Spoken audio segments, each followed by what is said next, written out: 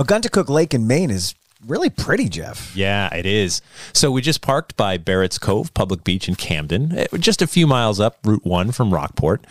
And the hiking trails here are pretty easy. So we're hiking up the trail to the cliff that overlooks the lake. Yep, that's the plan. Well, it's a great day for a hike. As we get higher, the views of the lake get better and better.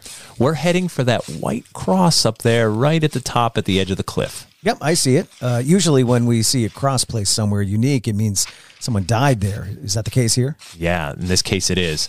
They call this place Maiden's Cliff, and the cross marks the spot where a young woman met her doom. They say her ghost still haunts these cliffs. Hello, I'm Jeff Belanger. And I'm Ray Auger. Welcome to episode 288 of the New England Legends Podcast. Thanks for joining us on our mission to chronicle every legend in New England one story at a time. Whether it's ghosts or monsters, UFOs, roadside oddities, or weird history, we're chasing it.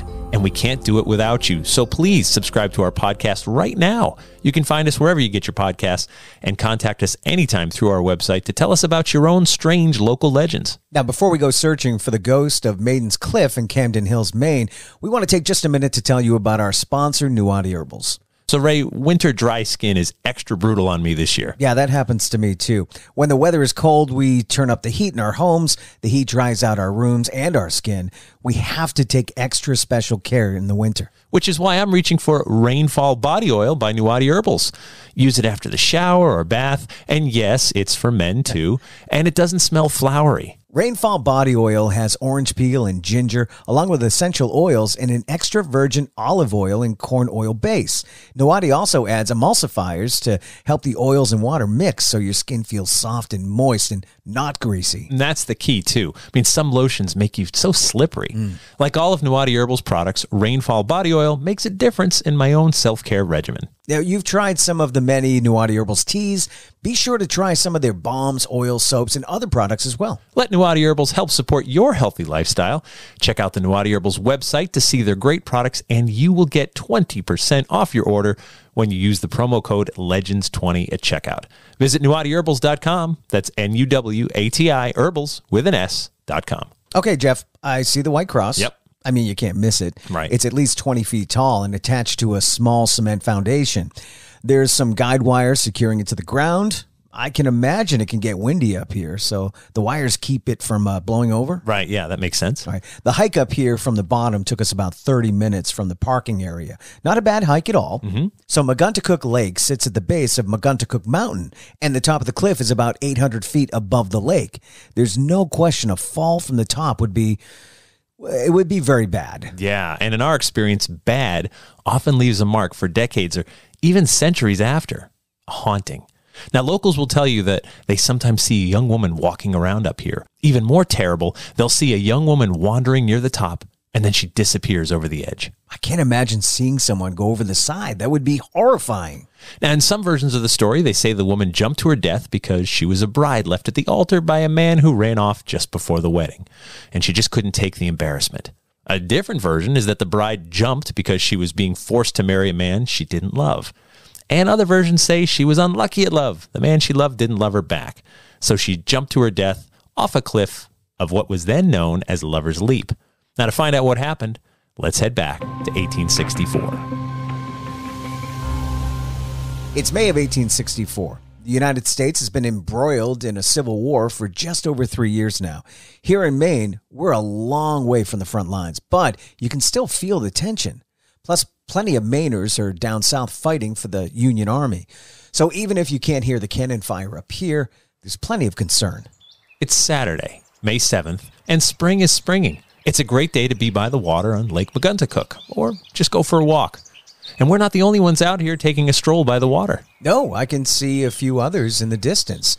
So the most obvious feature around the lake is this giant cliff on the eastern side. Some locals call it Lover's Leap. And of course, there's many lovers' leaps all over the place. There are. I think almost any cliff where you can easily walk to the top gets that nickname at some point. The cliff is pretty accessible too. There's various trails that will take you to the top in a short amount of time. It's a great place for a hike. It's about two in the afternoon. It's a lovely, breezy day. It's the kind of early spring day that offers a glimpse of those warm summer days coming.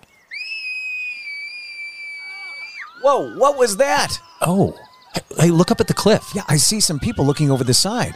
Looks like someone is trying to climb down the rocky face. Oh, uh, I think someone went over the side. Something just feels wrong. And from this distance, it's so hard to tell what happened, but yeah, I think something bad went down. By nightfall, a small group of people arrive on the cliff face to carry someone off the mountain. Ah, I can only imagine the worst. More days pass and word starts to spread that a young woman fell off the cliff and died. People can only imagine what happened, whether she ended her own life or if it was something more sinister. The victim of the fall was Elenora French.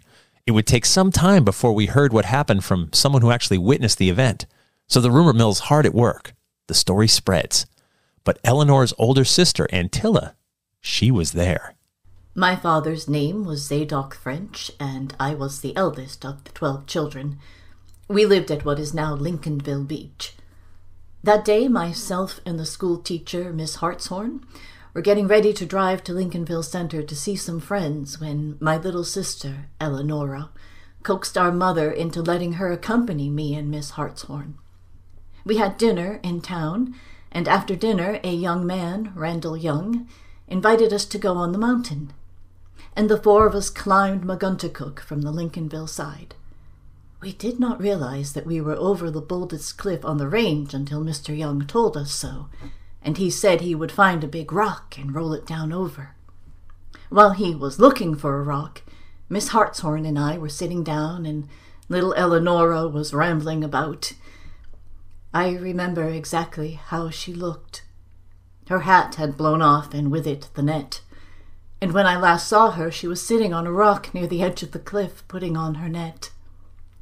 I turned to speak to Miss Hartshorn. I heard a scream. I looked where Elenora had been sitting, and she was gone. We were dazed for a moment and then ran to the edge of the cliff, but could not get near enough to look over. Mr. Young climbed down the face of the cliff to where Elenora had landed, nearly three hundred feet, they say, from where she fell. She was still alive and not a bone was broken, but she was injured internally and died at 12:30 that night. I don't know how my sister came to fall. I shall always think that a puff of wind took her hat and she fell over in going after it. Elenora was 12 years old when she died, and that brings us back to today. It was just a few years later that a, a, wealthy local man named Joseph B. Stearns was so moved by the story that he erected a white cross on top of the cliff. And it was soon after that that people started calling this place Maiden's Cliff. The white cross put up by Mr. Stearns could only take so many Maine winters before it began to fall apart, but someone would always replace the cross. In 1947, another more substantial cross was put up in its place, and that one lasted until 1980 when a new, much bigger cross weighing 600 pounds was put up. This one was 24 feet tall and 12 feet wide. In 1986, two men named Roy Brown and Sam Dyer carried a donated monument up here and installed it next to the cross.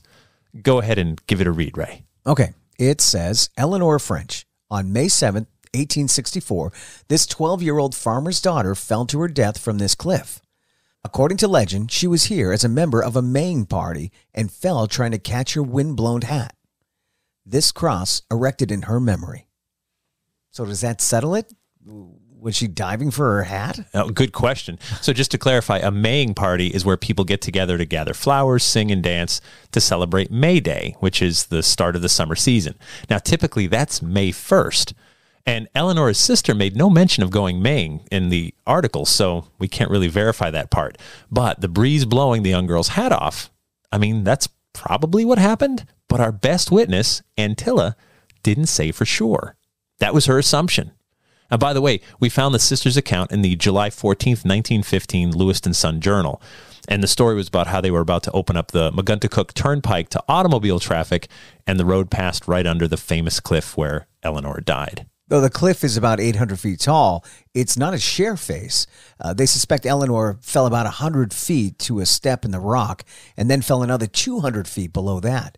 They say she didn't break a bone, but obviously she suffered some horrific internal injuries. Now, today the cliff is called Maiden's Cliff, but the memories of Lover's Leap don't fade easily. Now, that mixed with the story of the death and then the White Cross allowed people to run with whatever version of the story they heard. And today, people claim to see young Eleanor's ghost reenacting her final fall. Or they claim to see a young girl walking by the top of the cliff and suddenly she disappears. The cross and the ghost both serve as a warning to all who see it. Take caution. Someone has died here before. And that brings us to After the Legend, where we take a deeper dive into this week's story, sometimes veer off course. After the Legends brought to you by our Patreon patrons. Our patrons kick in just three bucks per month. That's like buying me and Ray like a bag of chips that we'll have to split. And for that, you get early access to new episodes, plus bonus episodes and content that no one else gets to hear. Just head over to patreon.com slash New England Legends to sign up. Um, so, hey, there were actually two newspaper articles where Eleanor's sister Antilla retold her story. Uh, we mentioned the one from July 14th, 1915, but there was also one from August 6th, 1924, the Ellsworth American. Uh, Nine years later. nine years. So what happened is like something would happen at the lake. That story would come up. They would find Antilla and quote her again. And so though she used different words, I mean the gist was pretty much identical. Just that you know, The Maying party. well, no, not the Maying party. Oh, She that was the initial idea. That's Right, what right, the right. plaque So says. she's against that, yeah. Well, she didn't confirm Well, she didn't deny. confirm it, yeah, yeah. Yeah, but she would. I think she would. We were up there for a Maying party. It, It- seems pretty cut and dry if that's what you were doing. Right. And so um, clearly, when you read the, the account of just how terrible it was, uh, it haunted Eleanor's sister pretty much the rest of her days. And Antilla was 18 at the time, and she died in 1930. So that's uh, Sad. Yeah, it is sad. And and 12, too. yeah, I mean, awful. But I was thinking about this. You've driven down a road, especially a highway, Yeah. and you see a cross Yeah. on the side of the road, especially late at night. Oh, you know exactly what happened. Sure. Someone died right there Yeah. on that spot, doing exactly what you're doing right now. Right, Driving, right? Like you're, you're driving, it's late, you're tired, you had a gig tonight, you know? Um, It wakes you up it for wake- sure. Doesn't it? Yeah. Right? So at the top of this mountain, I'm not looking over the edge. I'm not going close to the edge, knowing that somebody did fall. the, the cross warns you. Yeah. Like someone, like you, if you knew nothing in the world, if we just popped you there right now and you see this cross, uh, on the top of the, the cliff. Now you could say like, okay, maybe some religious person wanted to broad, you know, put up that they're a Christian and here's a cross. Sure, that that could be it. But most of the time, when we see a cross placed, it means someone died there. Yeah. And yes, it is a sobering reminder to, well, you're here where someone died. What are you doing? Exactly what they were doing. You're hiking on top of the cliff, right? You're driving down the highway. Yep. Uh, be careful. You experienced this going up uh, the mountain. Um, Oh, sure. Weren't there there crosses or just the, the bodies? So no, no. So when I climbed Mount Kilimanjaro, the, uh, people would place plaques. Plaques, okay. that um, were just stones they carried up there that just said, you know, uh, remembering so and so who died here on this Yeah. day. Um, I remember the first one I saw was at like eleven thousand feet on Kilimanjaro, and it said, um, and I'm just like, we're not that high up. Like altitude shouldn't kill you at this, you know, this height. But uh, and then I learned it was a lightning strike. Oh, which is something I didn't even consider. You know, like- But you were looking at the skies after that, weren't you? And I'm covered in metal. Yeah. Right, I've got metal hiking poles. Oh I've got metal clips and Spikes. carabiners and spikes and all. ki- There's um, metal cameras and I'm covered in metal. I never would have thought of that. I didn't Good think thing that plaque was there. And, and I was like, well, what do I do if if lightning starts to strike around here? Which, by the way, is, is higher than typically than uh, electrical storms, but not impossible. Yeah. And um, they said, well, you just drop your bag and you just get in a fetal position behind a rock. And okay, it, oh good. Well, there's a plan. So we have a plan now. Okay, that's all I need is a plan. But you would see those clouds coming, right? You would, yeah, you would think. But like, you know, we would be there and like this dark cloud would just waft by. And you would just fall down and get in a fetal position. Right, And, right. Uh, No, yeah, I was, uh, but it, it occurred to you, you know, it definitely occurred to you. and that's why we have plaques and crosses. Yeah. Yeah. And so, um, Lovers Leaps, we've done, uh, we did one not that long ago. It was actually episode 263. Yeah. I had to look it up. And that was the uh, Purgatory Chasms Lovers Leap in Middletown, Rhode Island. Oh, yeah. That's right. I do remember that one. That one was a cool story because it was a little bit different. Yeah. It was a twist on the Lovers Leap. Usually, Yeah. on the Lovers Leap, someone dies. Yeah. This one, someone got their freedom, which is a fun story. Go listen to it. Well, yeah. uh, The gist is she just kept saying no, no, no, no. Oh, he Yeah. kept. oh, Which one? she made it? him jump through hoop after hoop after That's hoop. right. So and that he- was the kept saying, literal no, no, no, no. And then it was also all of a hoop. sudden, "Ah, just jump over. He's like, just eh, screw you. jump that jump this this gap here in the rocks uh, and if you live uh, and he was just like all right i'm gonna do it and then turned around and was like, "Yeah, no, I'm done with you." Uh, Fantastic. I, love that he did it. He could have walked in the Yeah. other direction and said, I'm not doing this and I'm Yeah. done with you. He did it and then said, Yeah, I'm done. Ta-da! Take a bow and goodbye. You know, she's like, "Oh, he got away. Yeah. Got away." You should listen to it, even though we told you exactly what we happens. ruined the story. We spoiled it to no end, but it's a really fun one because it's a nice twist on the idea of a lover's leap. And you can still go see it today. You can still go see this cross today. It's still there. It's still well maintained. Sounds like um, they will continue to maintain it too, because it's been maintained over the years. Right. And it was knocked over by vandals at some point. This was decades ago. Um, but it's substantial. I mean, you know, it's in cement, and there's that that nice plaque now right next to it. Uh, there's the guide wires that hold it up and, and keep it in place on, on windy days because it's you know exposed to all the wind and elements. But it's been maintained for you know, gosh, probably 130 years, give or take, at this point, 140 years even. Uh, and and uh, there must have, I mean, that could be the sixth or seventh cross at this point, Right. um, because in the beginning it was just a, a white wooden thing and it weathered and disintegrated and Yeah. they'd put another one up. Um, but yeah, no, that it's it's um, and then you wonder, would we still talk about this story if the cross was never put there? No, it sounds like the cross is the story. It's huge. You know what I mean? Like you start Right. with that, and then you learn, oh, there was a child involved, and there was she fell, and all someone that. You kind of go backwards from there, but the cross is what draws you in. Yeah, yeah, yeah. No, I I, I get it. And if you Um, think about it, uh, like on the side of the road, there's a story behind every one of those crosses too. Not just somebody crashed. There is a story behind that. Who were they with? What were they doing that day? right. Um, so you work backwards from the memorial, I think. And what's interesting too is that the person who first placed it there, uh, Mr. Stearns, uh, was a, a wealthy guy, not as far as I know, not connected to the victim. Just was touched by the story and said we should put some sort of memorial there, and had the cross placed. so nice. typically on the side of the road, that's family or close friends that do it. You know, like I, I there was one that just broke my heart because it was sort of fresh, and this was on a back road, not not far from here, and. I mean, there was flowers and, and high school. It was a high school kid. You know, high school pictures like like um, laminated onto the cross and Yeah. and the sign. And then I was thinking of this too. Like it's it's in a neighborhood, right? Like the girl like hit a tree and was probably just going too fast or whatever. And imagine you live in those houses and you have to pass that memorial every day. Of course, you want to be respectful and all that other stuff, but you also like, oh, Don't want to be depressed every day. every day you drive by, you're like, oh my gosh, this poor girl. You Yeah. know, I mean, how many times can you say that? Um, so yeah, no, it's it's always very sobering, and I think that's why we tell these stories. They're cautionary tales. They're, you know, just let the hat blow off the cliff, girl. It's okay. You know, don't chase it. Let it go. Yeah, just no hat is worth it. hats can be replaced. Um, Could they even way back then, or were they hard to get? yeah, Maybe. they could do it. 1864. Hats were huge back then, weren't they? Everybody and wore not a in hat. size, but just everyone had Everyone- hat. everyone had hat to have a stores hat. on every corner, just like Dunkin' Donuts now. Yeah, Maybe. It's just tragic.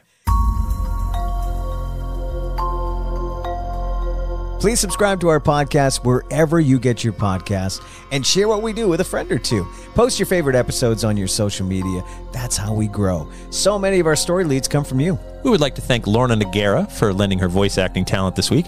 Thank you to our sponsor, Nuwati Herbals. Thank you to our Patreon patrons, and our theme music is by John Judd. Until next time, remember. The bizarre is closer than you think.